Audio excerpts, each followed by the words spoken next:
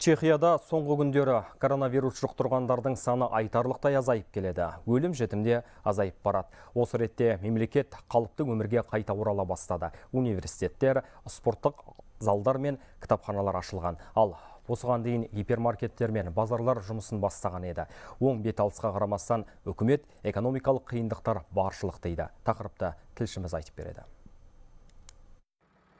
Сарапшылардың болжамы расталды. Пандемия ең алдымен фермерлерге салмақ салды. Базарлар біраз уақыт бойы жабық тұрды. Салдарынан шаруалар өнімдерін қайта өткізерін білмей әлекке түскен. Билік қолдан келгенше көмек көрсетті. Алайда Чехияны құрғақшылық жайлап, жығылған үстіне жұдырық болды. Соның салдарынан енді арпа мен бидай межелеген өнімді бермеуі мүмкін. Өткен маусымдарда қоспалар қосып егінді аман алып қалудың амалы жасалса, бұл жолы фермерлер жаңбырды күтуден басқа шара қалмайды дейді дистанční formou. Соңғы жылдары жауын шашын мөлшері төрт есеге азайған.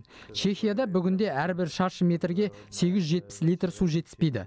Бұл кеше ғана пайда болған түйткіл емес. Ол мәселеге бірнеше жыл болды.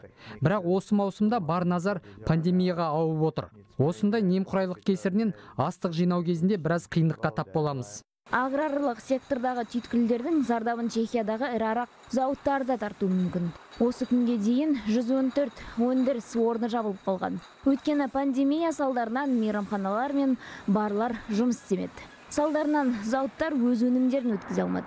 Биыл наурыздағы алкоголь өнімдерінің сатылымы былтырғымен салыстырғанда 24 процентке қысқарған. Сарапшылар карантиннен кейін оларға деген сұраныс тек жарты жылдан кейін ғана бұрынғы деңгейіне қайтып келе алады дейді. Бұл бір мәселе. Одан бөлек фермерлер егін жиналса ликер мен араққа қажетті шикізат та болмайды. Сөйтіп алкогольдік бизнес тағы бір қиындыққа тап болуы мүмкін. 2000.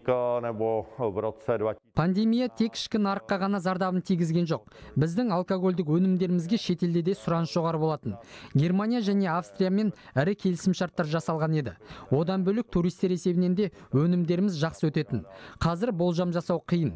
Карантиннен жалыққан жұрт жаппай Чехияға бас сауғалауы мүмкін. Не болмаса тағы бірнеше ай бойы үйлерінен шықпай отыруы да ғажап емес пандемия аграрлық сектор мен алкоголь өндірушілерден бөлек авиация саласына да кесірін тигізді.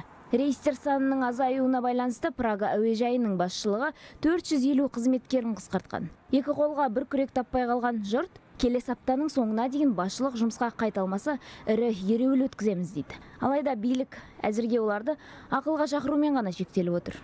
Наргиз бекмағамбетова жұлдыз атагелдиева дмитрий лукша хабар 24